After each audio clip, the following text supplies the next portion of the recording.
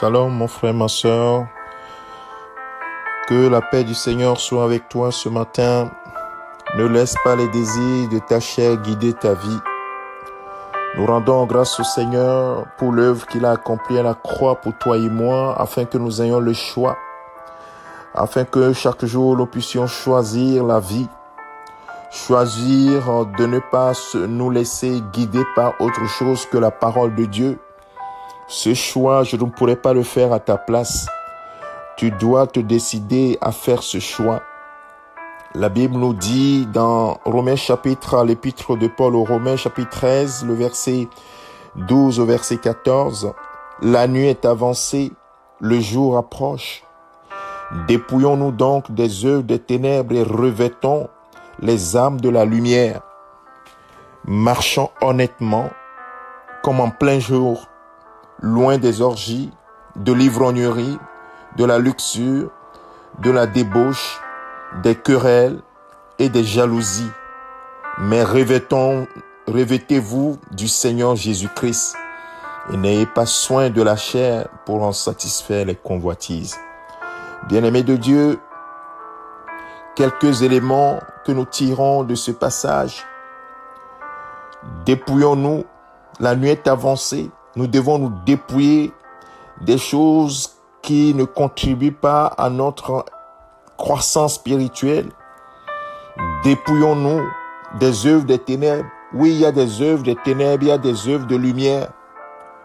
C'est pourquoi la Bible nous dit ici, marchons honnêtement. Si nous voulons marcher honnêtement, c'est que nous allons marcher dans la lumière. Nous n'allons pas cacher des choses. Notre vie que nous affichons, elle est la même que celle qui est cachée. Il n'y a pas de différence entre ta vie cachée et ta vie affichée. Si tu marches ainsi, sache que tu marches dans les ténèbres. Sache que tu marches avec les œuvres des ténèbres. Nous devons nous dépouiller des œuvres des ténèbres pour que lorsque notre vie est allumée, en, c'est pas, exposée, que nous n'ayons pas honte, que nous puissions être à l'aise, que c'est conforme à la parole de Dieu. Et dit autre chose, marchons honnêtement. Ne pas marcher honnêtement, c'est se tromper, mon frère, ma soeur. Marche honnêtement. Toi-même, pose-toi la question, est-ce que je marche honnêtement? Ou je marche dans la malhonnêteté? Je cache des choses. Marchons honnêtement. Pourquoi? Parce que la, la, la, nuit est avancée, le jour arrive, mon frère, ma soeur. Et nous devons revêtir Christ. Bien-aimé de Dieu, tu as quelque chose à faire toi-même. Jésus a tout accompli à la croix déjà pour toi. La balle est forcément dans ton camp. Et c'est pourquoi la Bible nous dit, Paul toujours dit aux Romains dans le chapitre 8e, il dit dans le verset 13, si vous vivez selon la chair, vous mourrez. Mais si par l'esprit vous faites mourir les actions du corps, vous vivrez. Frère, mon frère, ma soeur, tu as toujours le choix. Et dans Galates chapitre 5, nous avons la description de ce que le corps, la chair, les désirs de la chair nous, nous poussent à faire. N'ayons pas soin de la chair. N'ayons pas soin des choses que la chair nous impose. Ne laisse pas les désirs de la chair guider ta vie. Il dit, les désirs, ces œuvres de la chair sont opposées aux œuvres de l'esprit. Or, les œuvres de la chair sont évidentes. Ce sont la débauche, l'impureté, les dérèglements, l'idolâtrie, la magie, les rivalités, les querelles, les jalousies, les animosités, les disputes, les divisions, les sectes, l'envie, l'ivrognerie, les excès de table et les choses semblables. Je vous dis d'avance, comme je l'ai déjà dit, que ceux qui commettent de telles choses n'hériteront point le royaume de Dieu. Oh bien-aimé de Dieu, nous marchons avec Dieu pour hériter la vie éternelle. Nous ne marchons pas pour nous perdre. C'est pourquoi depuis lundi, nous parlons, oui, de deux catégories de personnes. Ceux qui ont la crainte de Dieu, qui marchent selon la loi de l'éternel, dit heureux celui, ceux qui trouvent leur plaisir dans la loi de l'éternel, qui ne marchent pas selon le conseil des méchants, ainsi de suite, dans le psaume 1.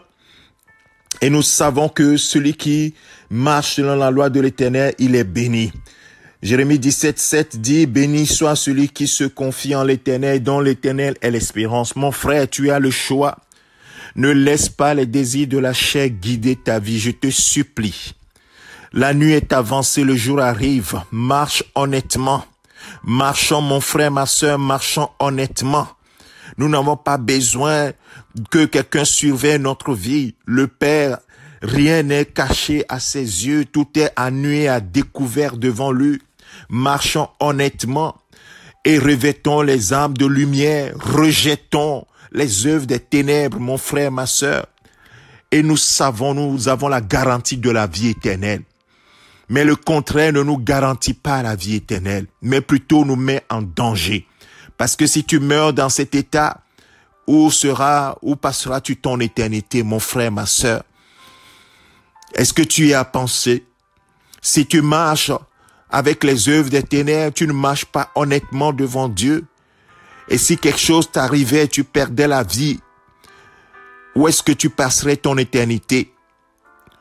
Bien-aimés, tant que nous n'avons pas encore quitté cette terre, nous devons veiller sur notre marche, ne pas laisser les désirs, les convoitises de la chair nous guider.